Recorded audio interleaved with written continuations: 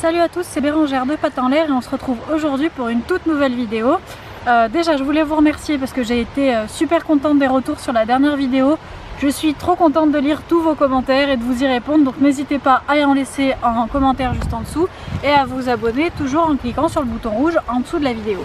Aujourd'hui, on se retrouve pour parler de quelque chose qui me tient à cœur, comme vous le savez, d'éducation canine, comme vous le savez, des méthodes positives. Et aujourd'hui, on va parler de, la notion de punition, parce que c'est une question qui est revenue dans les commentaires et en message privé, de oui, c'est bien beau de récompenser ton chien quand il fait bien, mais qu'est-ce que tu fais quand il fait mal? Donc aujourd'hui, on va parler de la punition.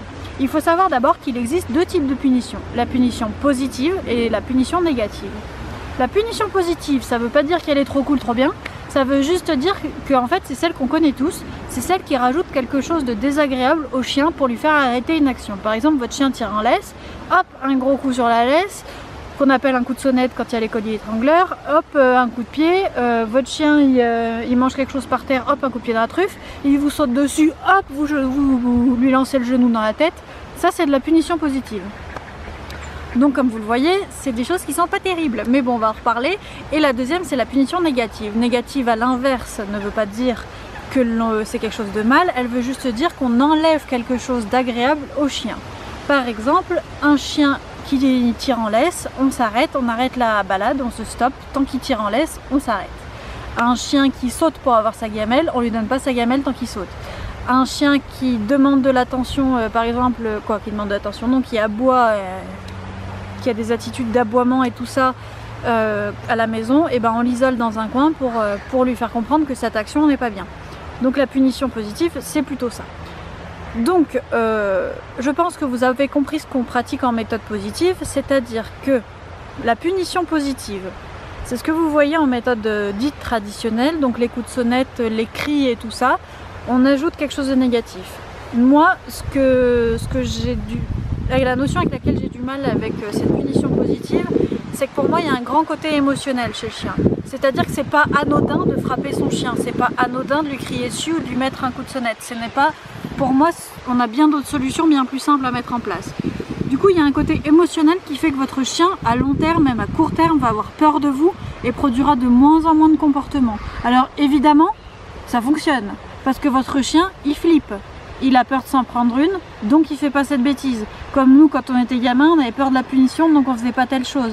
Mais c'est de la punition, voilà, c'est émotionnel, ça engendre des conséquences émotionnelles chez le chien qu'il ne faut pas négliger. Ça peut aller jusqu'à des troubles du comportement qui peuvent être très graves.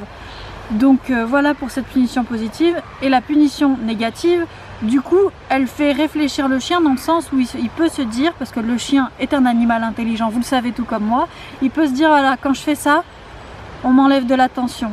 Quand je saute, je mange pas. Quand j'aboie, je suis tout seul dans une pièce. Quand je joue trop fort à la balle, eh ben on s'arrête de jouer. Donc la prochaine fois, j'ajusterai petit à petit mon comportement. Évidemment, ça se fait pas en un jour. Évidemment, c'est pour certains plus facile de frapper un chien. Mais alors se remettre en question et euh, revoir ses méthodes à soi, c'est beaucoup plus bénéfique sur le long terme. Parce qu'avec ces méthodes, vous allez pouvoir faire réfléchir votre chien et votre chien ne perdra pas confiance en vous votre chien il se dira toujours que voilà que son maître euh, il aura toujours la même confiance en son maître et toujours la même joie et non pas une peur de partager des moments avec vous. Voilà. J'espère que cette fois la vidéo était courte parce que je voudrais comme la dernière fois je vous ai dit euh, réduire le format de mes vidéos. Donc j'ai essayé de vous faire ça en réduit. Si vous avez d'autres questions n'hésitez pas surtout dans les commentaires à me les poser. Ça peut faire l'objet d'une deuxième vidéo. En tout cas euh, je suis comme je vous le dis je suis contente de l'ampleur que commence à prendre la chaîne je suis contente de pouvoir euh, aider même en privé des personnes euh, avec leurs chiens. Je suis très très heureuse de ça. Et euh, n'hésitez pas à me contacter en cas de besoin, je suis à votre disposition. Voilà, j'espère que cette vidéo vous aura éclairé sur la notion de punition en éducation canine. Surtout préférez enlever quelque chose d'agréable à votre chien que de lui ajouter quelque chose de négatif. Voilà. Je vous dis à très bientôt pour une prochaine vidéo. Salut